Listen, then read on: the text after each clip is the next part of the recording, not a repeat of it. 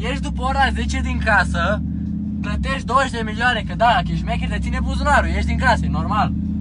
Da, dacă nu, stai acasă. E foarte simplu.